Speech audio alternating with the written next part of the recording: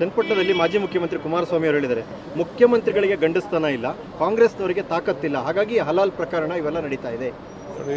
ಕುಮಾರಣ್ಣ ಭಾಳ ಹಿರಿಯರಿದ್ದಾರೆ, ಅನುಭವಿಸ್ತಿದ್ದಾರೆ.